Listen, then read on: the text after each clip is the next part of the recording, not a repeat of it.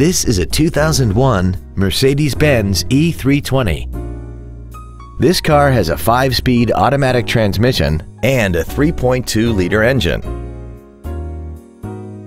Its top features include a double wishbone independent front suspension, a sunroof, an 8-speaker stereo system, aluminum wheels, and traction control and stability control systems.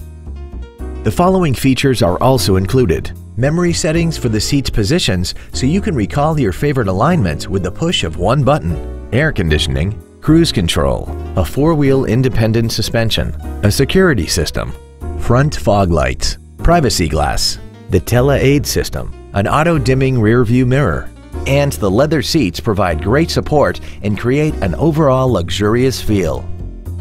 Call or visit us right now and arrange your test drive today.